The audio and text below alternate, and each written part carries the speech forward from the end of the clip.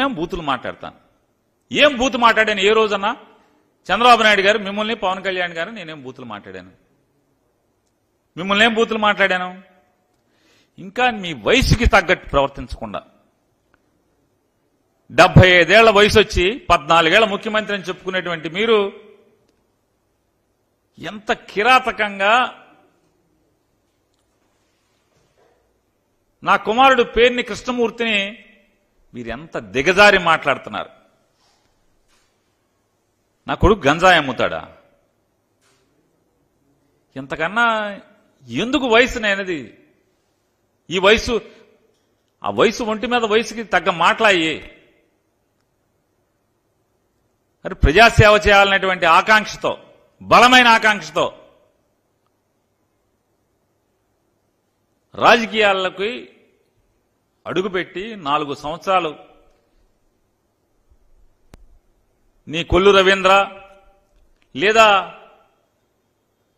నీ పార్టీ నాయకులందరూ కూడా ఇళ్ళలో పడుకుని మీతో సహా అందరు ఇళ్ళలో పడుకుంటే అతను కరోనాలో ప్రాణాలకు తెగించి ఐసీయూ వార్డులో కూడా బందర్లో కరోనా బారిన పడినటువంటి ఏ పేషెంట్ని అడిగినా కూడా పేరుని కృష్ణమూర్తి సేవల గురించి ఈరోజు కూడా మాట్లాడతారు.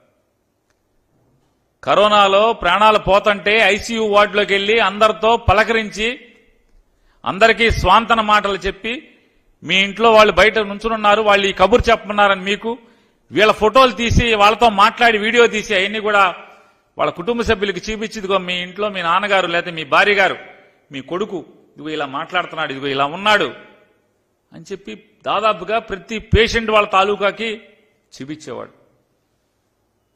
డాక్టర్లతో సమానంగా లోపల వార్డులో ప్రాణాలకు తెగించి తిరిగాడు.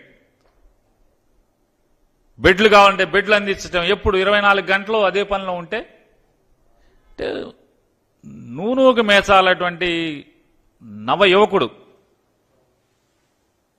మొదటిసారి రాజకీయాల్లో పోటీ చేస్తాకు వచ్చి పోటీ చేస్తుంటే ప్రజలు గుర్తిస్తే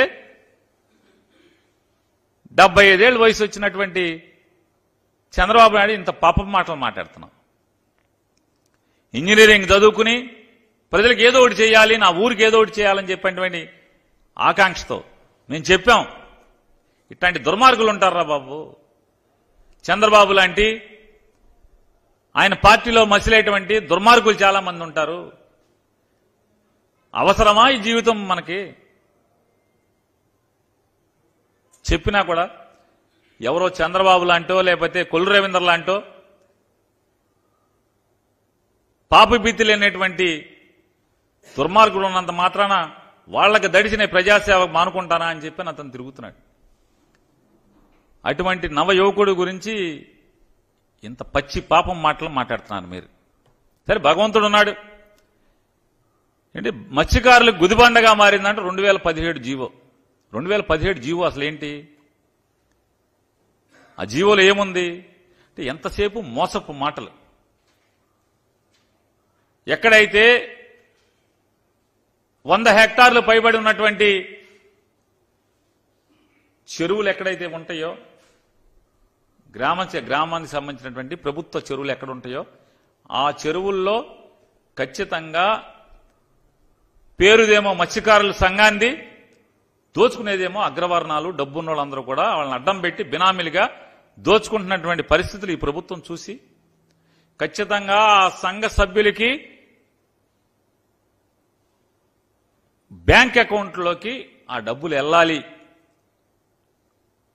అనేటువంటి జీవో తెస్తే దాన్ని తప్పుగా చిత్రీకరించడం మీ గుండెల మీద చేసుకు చెప్పండి. ఈ జీవో ఏం తప్పు ఉందో ఊరికే రెండు వేల పదిహేడు జీవో అంటుంది అయితే ఆ జీవోలో ఏంటి? జీవో సారాంశం ఏంటి? ఇటువంటి పాప మాటలు బురదేసి విషపు మాటలు ఆయన మాట్లాడతాడు. దేశానికి ఎందరో మహనీయులను అందించినటువంటి గడ్డ కృష్ణా జిల్లా. ఇప్పుడు కొత్తగా గుర్తుకొచ్చింది కృష్ణా జిల్లా. ఎందరో మహనీయులను అందించింది. జాతీయ జెండా రూపశిల్పి పింగళి వెంకయ్య ఈ గడ్డపైనే పుట్టాడు. మొట్టమొదటి జాతీయ జెండా ఎగిరింది ఇక్కడే. బ్రిటిష్ హయాంలో బందరు ఓ వెలుగు వెలిగింది. ఓ వెలుగు వెలిగింది బందరు బ్రిటిష్ హయాంలో. రెండు వేల పద్నాలుగు నుంచి పంతొమ్మిది దాకా చంద్రబాబు హయాంలో ఏం జరిగింది? ఒక్క అధికారి జిల్లా కలెక్టర్తో సహా ఒక్క అధికారి కూడా బందర్లో ఉండేవాడు కాదు. మొత్తం అందరూ బెజవాడలో ఉండేవాళ్ళు. ఆఖరికి ఆగస్టు పదిహేను జనవరి ఇరవై ఆరు జాతీయ జెండా కూడా కలెక్టర్ వచ్చి ఎగరేసేవాడు కాదు. డిఆర్ఓతో ఎగరేయించేవాళ్ళు. జిల్లా అధికారులందరూ కూడా బెజవాడలో కాపురం ఉండేవాళ్ళు. వారం వారం సోమవారం ఒక్కరోజు అది కూడా వాళ్ళకు బుద్ధి పుడితే గ్రీవెన్స్కి వచ్చి కాసేపు గంట కూర్చుని వెళ్ళిపోయేటువంటి పరిస్థితులు. అది కూడా కలెక్టర్ ఎక్కువ రోజులు వచ్చేవాడు కాదు. జాయింట్ కలెక్టర్నో డిఆర్ఓనో కూర్చోబెట్టేవాళ్ళు. వారం వారం సోమవారం ఒక్కరోజే కాస్తో కోస్తో ఆ గ్రీవెన్స్ పేరుతో ఒక గంట సేపు అధికారులు కూర్చుని వెళ్ళిపోయేవాళ్ళు. ఇది చంద్రబాబు నాయుడు ఏలుబడిలో బందరకు ఉన్నటువంటి దుస్థితి. ఇవాళ ఈయన వచ్చి అసలు మామూలుగా ఈయన ఇప్పుడే రాజకీయాల్లోకి వచ్చినట్టు చంద్రబాబు నాయుడు గారు. ఈయన ఇంత క్రితం ఎప్పుడు ముఖ్యమంత్రి చేయనట్టు. ఇప్పుడే వచ్చి నన్ను ముఖ్యమంత్రి చేయండి అని మొదటిసారి ఓట్లాడుకున్నట్టుగా బిల్డప్ ఇస్తున్నాడు ఈ బిల్డప్ బాబాయ్. ఇవాళ బందర్కి మళ్ళీ వెలుగెలా వచ్చింది? రెండు వేల ఇరవై రెండో సంవత్సరం మార్చి మాసంలో ఈ రాష్ట్ర ముఖ్యమంత్రి వైఎస్ఆర్ కాంగ్రెస్ పార్టీ అధ్యక్షుడు జగన్మోహన్ రెడ్డి గారు తన ఎన్నికల మేనిఫెస్టోలో ఇచ్చినటువంటి హామీని అమలు చేస్తూ కృష్ణా జిల్లా బెజవాడ క్రీనీడలో ఎలా అయితే మసకబారిపోయిందో బందరు చరిత్ర గతమెంతో ఘనమైనటువంటి బందరు చరిత్ర బెజవాడ క్రీనీడలో ఎలా మసక మారిపోయిందో ఆ మసక తుడిచేయటాకి బెజవాడని సపరేట్ జిల్లాగా ఎన్టీఆర్ జిల్లాగా నామకరణం చేస్తూ బందరు పార్లమెంట్ పరిధిలో ఉన్నటువంటి ఏడు అసెంబ్లీ నియోజకవర్గాలని కలిసి కృష్ణా పాత కృష్ణా జిల్లాగా ఏర్పాటు చేయటం వల్ల మళ్ళీ బందర్కి పూర్వ వైభవం తీసుకొచ్చినాడు ఎవడయ్యా అంటే సత్తా ఉన్నాడు జగన్మోహన్ రెడ్డి గారు. రెండు వేల పద్నాలుగు నుంచి పంతొమ్మిది దాకా. లేదా రెండు వేల నాలుగుకు ముందు మీరు ముఖ్యమంత్రి చేశారు కదా. బందర్ గురించి ఎందుకు పట్టించుకోలేదు? ఇవాళ మీరు పెంగళ వెంకయ్య గారిని తీస్తారు. జాతీయ జెండా గురించి చెప్తారు. బ్రిటిష్ టైంలో గన్- బందరు చరిత్ర ఘనం అంటారు మరి నువ్వే కదా నల్లదొర పరిపాలించావు పద్నాలుగేళ్ళు. నీ ఏలుబళ్ళు ఏమైపోయింది? ఇవాళ ఇటువంటి బొంకు మాటలు మాట్లాడాడు ఆయన. ఈ బొంకు మాటలు కాక ఏంటది? ఇవాళ ఆయన మాట్లాడుతూ